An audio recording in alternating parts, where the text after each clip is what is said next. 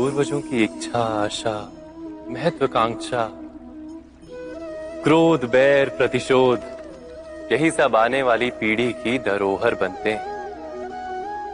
माता पिता अपनी संतानों को देना तो चाहते हैं, समस्त विश्व का सुख, पर देते हैं अपनी पीड़ाओं की संपत्ति। देना चाहते हैं अमृत, पर साथ ही साथ विश्व का घड़ा भी भर देते हैं।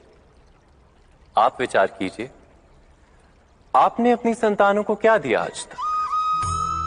अवश्य, प्रेम, ज्ञान, संपत्ति आदि दिए।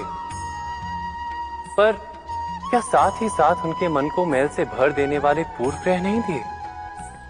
अच्छे, बुरे की पूर्व निर्धारित व्याख्याएँ नहीं दी? व्यक्ति का व्यक्ति के साथ। समाजों का समाजों के साथ, राष्ट्र का राष्ट्र के साथ संघर्ष। क्या इन्हीं पूर्व ग्रहों से निर्मित नहीं होते? हत्या, मृत्यु, रक्तपात, क्या इन्हीं पूर्व ग्रहों से नहीं जानते?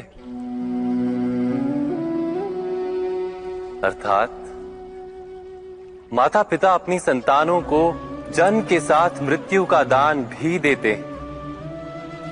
प्रेम के प्रकाश के साथ साथ घृणा का अंधकार भी देते हैं और अंधकार मन का, हृदय का हो या वास्तविक हो, उससे केवल भय प्राप्त होता है। केवल भय। स्वयं विचार कीजिए।